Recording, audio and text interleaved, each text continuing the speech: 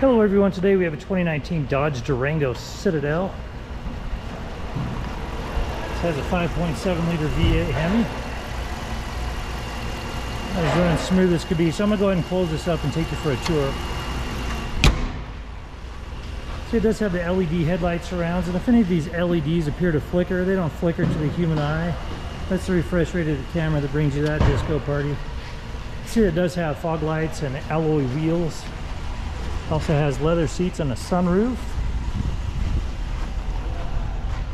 See, it does have a tow package cover right there. Three rows, captain's chairs in that second row. Power lift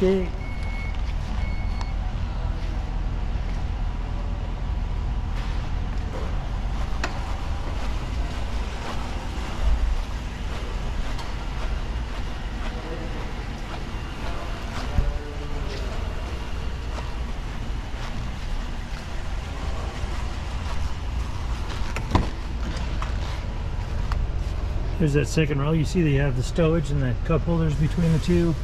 And the second row is heated, as you see here. And then you have another 110 volt outlet right there, along with two USB ports. Harman Kardon sound. And then you got your VIN right here, which your last four are 3374.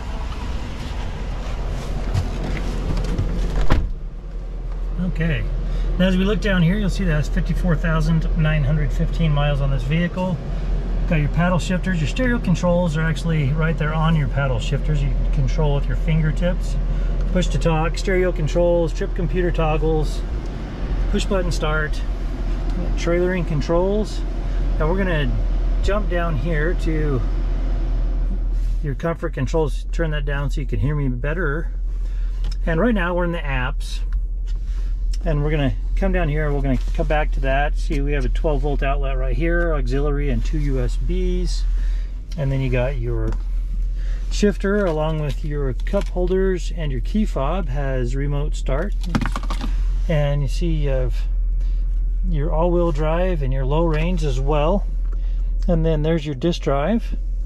And you have another 12 volt outlet right there and coming up here, as I mentioned, we're in the apps right now, so this is where you would find your heated steering wheel. And you can shortcut to these other things like navigation and such from right here. You also have your Wi-Fi hotspot right here, along with your front heated front seats. And then you got your backup cam that you can jump to even while you're driving, especially when you're pulling a load. That's super nice. You got your radio with AM, FM, Sirius XM, and then the disc that I showed you earlier and then you can also channel your USB right there or Bluetooth. And then you got your climate controls. You can also control your seats and your steering wheel right there. Then your controls you can also do that right here as well. And folding of the headrests and such that's also where where you can access that from and then your Bluetooth. So and then um, as we come up here then you've got your map reading lights, your sunroof controls, and your sunglasses holder. And then here's your SOS right here. I'm not going to press that because we're not in an emergency situation. But uh, you can also access the navigation right here from that as well. And I think that that covers everything that this Dodge is equipped with.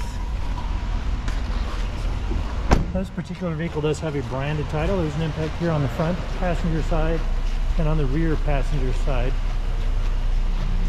The airbags did not deploy. There was no structural damage, so we got it all fixed up and it has passed 150 point inspection on the state of Utah safety inspection. For more inventory, visit us at tjchapmanauto.com. In the spirit of full disclosure, here is a copy of the original label for your vehicle so you can see what it was equipped with straight out of the factory.